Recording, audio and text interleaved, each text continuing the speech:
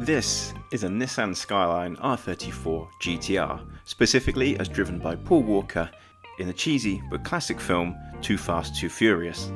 It's loud, it's flashy, and as some might say with the blue neons that it had in the film, it is positively garish.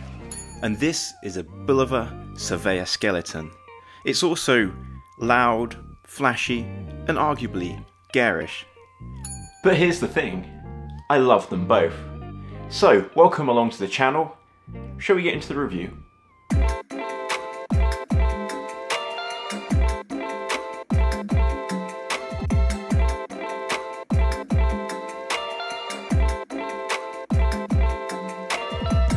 It's at this point that my comparison with the R34 GTR falls completely flat because we're going to talk specs and the R34 GTR in the automotive world when it came out was a spec monster punching way above its weight in terms of performance.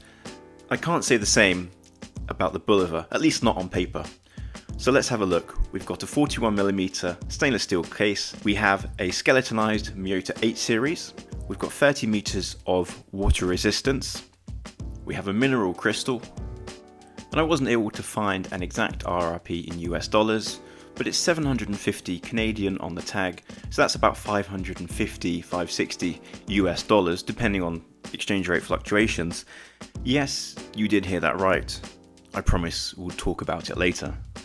Anyway, let's look a little bit closer at the watch, and let's start with the dial. I can't talk about the dial of this watch without talking about the movement, because of the skeletonization. So this is a Miyota 8N24, which is a pretty heavily skeletonized version of a Miyota 8 series. I think it's better than the equivalent Seiko movements uh, in terms of skeletonization at this price point, but of course the Miyota 8 series is not a particular favourite amongst most enthusiasts. But Bulova have done a good job here. The finishing across the movement is it's, it's clean but it's industrial. It's not going to win any awards, and it's not going to certainly rival any of the Swiss watches. That being said, the industrial aesthetic, it kind of suits this watch. Bulova's overlay is an interesting one. There's a few different layers to it.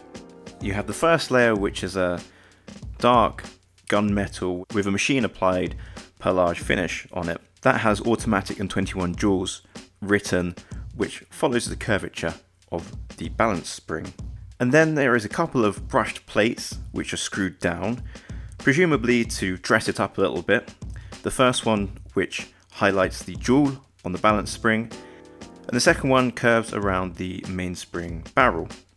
Moving more to the outside of the dial, the next level up is a sort of blue anodized finish, and this is where you'll see these triangular polished indices, and they are really well polished. There's exceptional finishing on them, and they play with the light really nicely.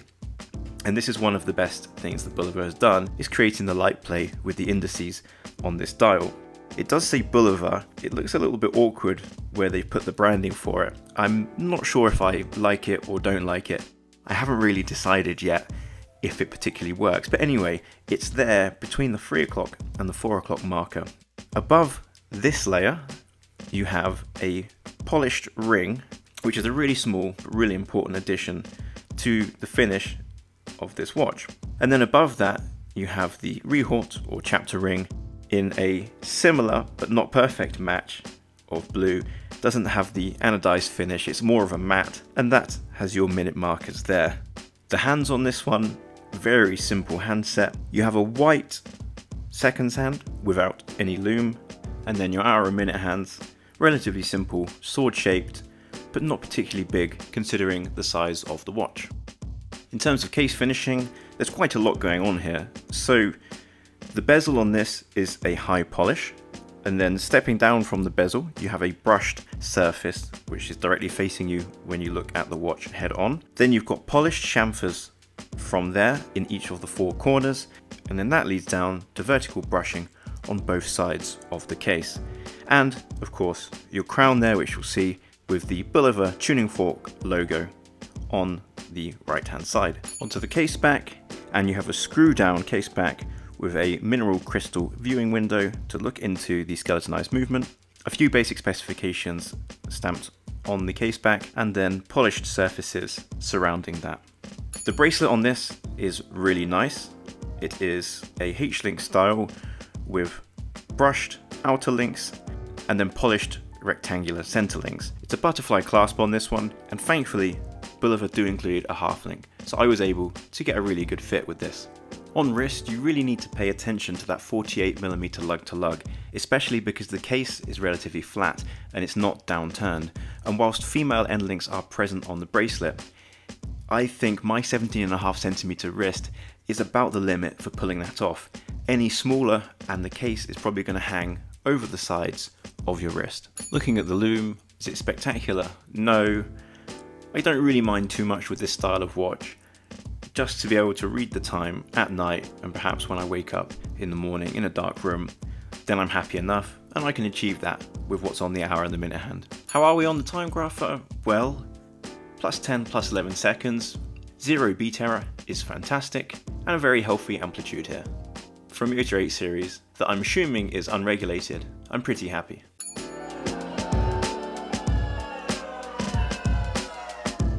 The spec list and the price looks like a mismatch.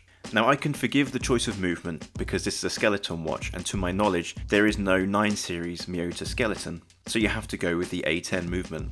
And obviously Bulova, being part of the Citizen Group, they're going to pick something in-house, they're not going to look elsewhere. So let's leave the Miyota argument to one side.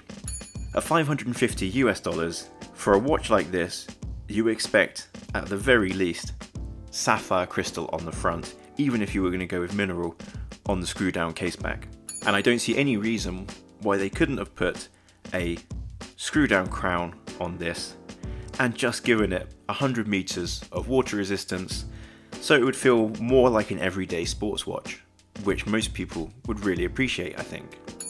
Skeletonized watches are never the easiest to tell the time on, but I think a bigger hour and minute hand, a little bit wider and a little bit chunkier on something of this size would firstly match a little bit better and it would be easier to read.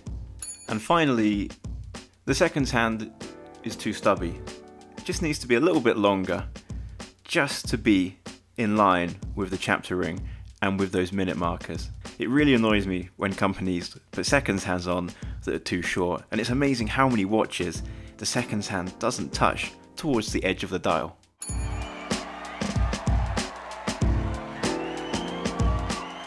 So obviously I didn't spend my own money on a watch just to roast it for the sake of YouTube. There must have been some redeeming features, and there are some things that I love about this watch, and I don't regret my purchase at all. First of all, I think it's a really interesting watch to look at. The light play between the dial skeletonized movement and the indices is really really fun and enjoyable when it's on the wrist. It draws attention and intrigue and I find it such a fun watch to wear and spend time with. And whilst sometimes skeletonization does feel a little bit tacky, I do enjoy seeing the beating heart of the watch, and for me, it's a bit of a guilty pleasure. In a world full of black dials, grey dials, and white dials, it's just fun to have different watches. Second, and perhaps the biggest surprise to me, was the bracelet on this is really, really nice. It's very well finished, all of the edges are smooth, even where you've got straight cut 90 degree angles, it's been really nicely deburred. It feels smooth in the hand and it's very comfortable. And the addition of that half link and the links themselves not being particularly long means that I think most people would be able to get a comfortable fit despite the fact that it's a butterfly clasp. Finally, I love the case shape. I think this sort of retro futuristic shape really captivates me and again it's unlike anything else in my watch box. With the light play, the interesting dial, the fun of the skeletonization, I really really enjoy wearing this piece despite the fact that on paper it's an absolute shocker. So let's get to a conclusion. Yes or no, this is your last chance, no beating around the bush. So what's my closing thoughts on the Bulova Surveyor skeleton? Well, I think it's an awesome skeletonized watch. I think it looks fantastic, it catches the eye. If you don't feel the same way when you look at it, then I don't think I would be able to recommend it to you. Because It's not the perfect everyday sports watch. Because of that 30 meters water resistant, you can't take it swimming. And for those who really value the spec sheet, the movement, I think that lack of sapphire crystal and that Miyota 8 series, even with a heavy discount, you probably still wouldn't justify it. But if you like the looks as much as I do, make sure you get a big discount on it. Typically Bulova and Citizen, they always seem to be running somewhere between 20 and 35%, and sometimes you can ask for a little bit more as well. So do make sure you get a heavy discount if you purchase the watch. I'd love to hear your thoughts about this watch and about Bulova in the comments section below. Thank you so much for watching and if you haven't subscribed already, it means a huge amount to me as a small channel for all of my subscribers and if you hit that bell icon, you'll get a notification each time that I upload a new video. Thanks again and I'll see you on the next one. Cheers.